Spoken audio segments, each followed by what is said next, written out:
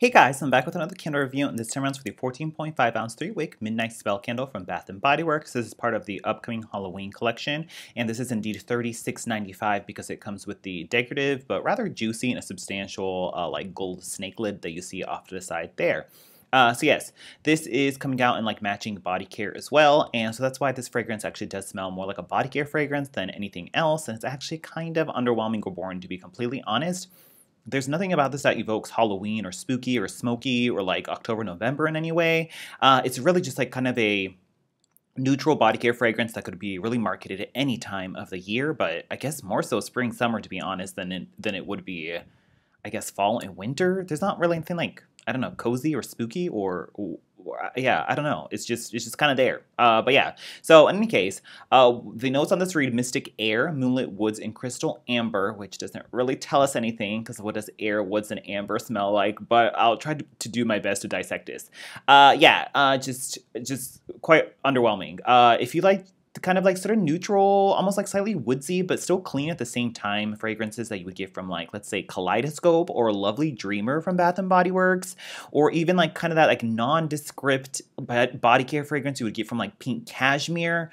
It's just kind of like that. It's just, it's not really distinct. It's more of that sort of like woodsy, clean with just a little bit of extra amber warmth in the background is kind of what I get from it. So what I get is kind of like a cedar wood that's not too different from the cedar wood that I guess you would get from Kaleidoscope. So there is definitely like a woodsy component in here for sure, uh, but it's like not smoky or super heavy. It's just more like this, like a neutral body care woodsy feel to it. Uh, and then it's mixed with a little bit of like a slightly clean, nondescript floral is mixed in there as well to give a little bit of sweetness. Uh, and then it's rounded out by like a little bit of like a, uh, I guess, slightly creamy warmth that you would get from like an amber fragrance. And that's pretty much what it smells like. Um, yeah, I don't know. This could like just really be any kind of like neutral body care for all year around. There's just nothing really super like spooky or Halloween about this. Like if this could truly be marketed as anything in the world uh, because it's so just like nondescript. But I, I don't know. It's here as Midnight Spell, uh, and that's pretty much what it smells like. It's just if this was not in this Halloween packaging and it didn't have the Halloween hype machine behind it, I would 100% never bought this. This could be just like I don't know cedarwood and amber in a neutrals collection and some just like regular generic packaging, and I wouldn't ever even given a second thought about this. Um, honestly, if it wasn't for like reviewing candles on YouTube and all that kind of stuff, I don't think I would even pick this up even for the Halloween packaging. This is 100% like, you might still enjoy this fragrance, uh, but it's just not super remarkable, but I would say it's more so like very much a packaging buy and decoration buy rather than like, oh my god, this is a unique, amazing fragrance. But once again, everyone's taste is different, so you might actually really like this fragrance. Like if you like Kaleidoscope or Lovely Dreamer or Pink Cashmere, those just kind of like neutral, nondescript body care fragrances, check it out, but don't expect something super spooky or unique for the Halloween season from this, at least in my opinion.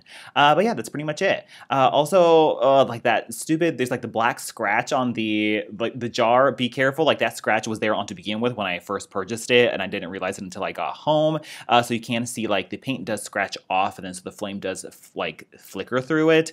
Uh, and also that label and the fact that it's a like an oval cut and not a die or a kiss cut is just like really grinding my gears because it just looks really cheap on that black matte jar. But any case yeah here it is. There's midnight spell. Like if you like it for packaging check it out. But like don't expect this like mind-blowing amazing fragrance. So that's pretty much it. Let me go into the performance this is either a third or a fourth burn, and it has a thick rope-like wicks that are very massive. This candle soot's like just absolute crazy. I mean, do you see that? I mean, just like so so much soot. Uh, and so I think the like the trade-off on this candle is like okay, it has dark like deep gray slash blacks black wax on it. And so if you put more especially heavy like black dye more like dye in a candle uh, it tends to clog the wicks and makes it harder for the candle to burn. So to compensate for that you have to like up the wick size and make them massive to combat the uh, like the drowning that you would get from the amount of dye that's in here, and I think that's what's happening here. So at least we're not getting a dudding like a dudding out drowning candle, but as a trade-off, you get this massive hot inferno of a candle. And this is no more than like two two hours, and like it is just sitting like crazy. It's just really hard to get this candle under control. Uh, and then I'm afraid if I trim it too much, then it, it is indeed going to drown. So this is just really like not a win-win situation on this. So ugh, yikes. Uh, as for the throw, it's also quite light light. Um, I would say maybe like a three in an open concept area, maybe up to like a four, four and a half in a smaller room.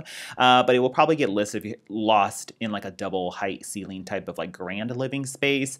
Uh, but you can smell it minimally in a bedroom. So definitely in the light range. It just doesn't have a lot of oomph. It's just kind of like as light and sort of non-existent as that Kaleidoscope shower gel was, at least for me. Overall, between the low throw and just the totally underwhelming uh, fragrance, I would not get this. I certainly wouldn't repurchase it. If I had to go back in time, would I have purchased it? Absolutely not. It's just totally for review purposes. Uh, so I would obviously, you know, if you're just really in love with the packaging, then, you know, spend money however you want to. But uh, for the fragrance, just nothing to write home about whatsoever. It kind of sucks that this is, has to be like an accompanying body care release. And so by that association, like it has to smell like a body care fragrance rather than something that's a little bit more in line with like a spooky Halloween fragrance. Um, I'm not quite sure what I would have wanted this to smell like, but I, this is just not it. So that's pretty much it. Thanks so much for watching, and I'll talk to you guys later. Bye.